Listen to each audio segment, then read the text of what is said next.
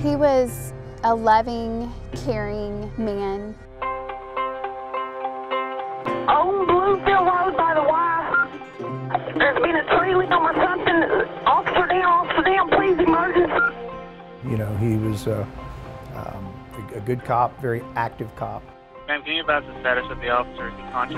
I, I believe he is dead.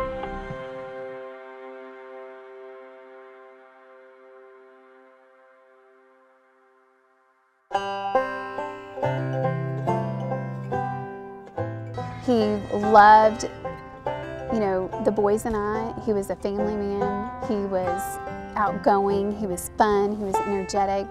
His um, personality was infectious. He was always the life of the party.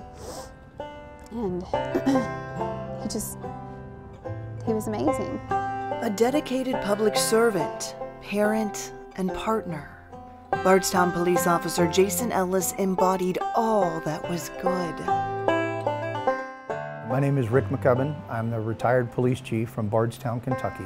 Uh, Jason was a, um, he was a, uh, he was a chief's cop.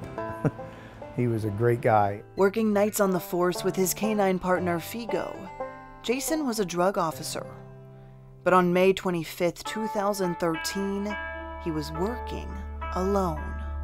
Jason had opted to, to leave Figo home that night since he was not in his canine car and in, a, in just a pool car. Like every other night, Jason responded to calls. 139 dispatch, be traffic stop. He popped into his son's baseball game. He got called away in the middle of the game, um, and we didn't get to say bye to him. He took a suspect to jail, and then he signed off for the night, leaving the Bardstown Police Department around 2 a.m. 139 out of count. Driving the dark and desolate Bluegrass Parkway, Jason was heading home.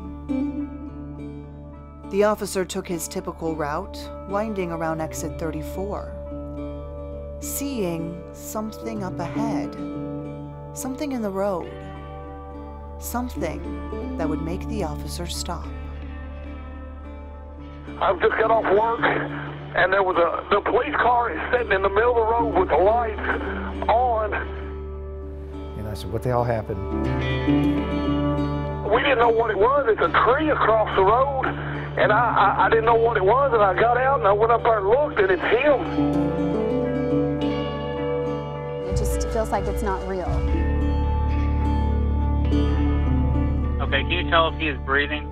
No, sir, he is not breathing. Body temperature is cold. That voice, a distillery worker on his way home for the night. Passerbys were the first to find the assassinated officer and call for help. Tomorrow night at 6, we pick up right where we left off tonight, continuing this investigation as his brothers in blue rush to the scene and then his family gets the news. For the Unsolved team, I'm Shay McAllister.